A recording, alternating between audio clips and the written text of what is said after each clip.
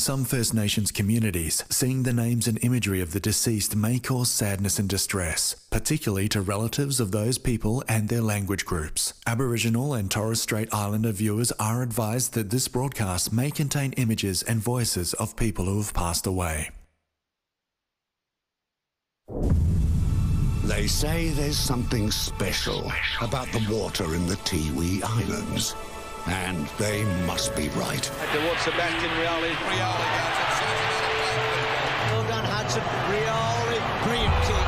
Absolutely brilliant. Rioli near the boundary line. Something special.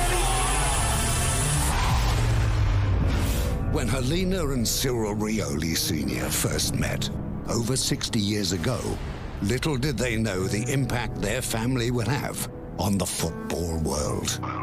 That chance meeting has led arguably to the greatest footballing bloodline we've ever seen. And still, it continues to grow. Maurice Jr. is the latest in a long line of Riolis to play football at the highest level. Rioli, snap at goal.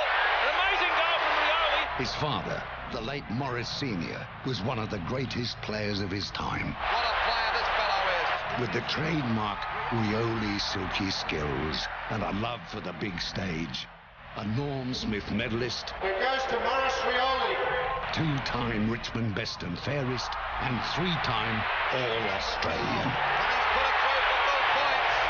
Now, his son follows in those giant footsteps.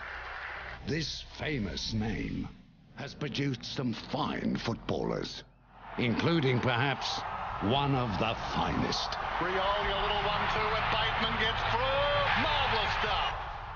Seven of the past eight winning Premiership sides have featured a Rioli. It's a goal! Let that sink in. The prospect of Maurice Jr. is just as exciting. Rioli puts it through! The genetics are legendary when it comes to this remarkable family. Maurice Rioli kicking goals at the MCG. The water in the Tiwi may just hold some power. But it's the chance meeting of Helena and Cyril Sr. all those years ago that has allowed us to witness the greatness of the name Rioli. Only Rioli can do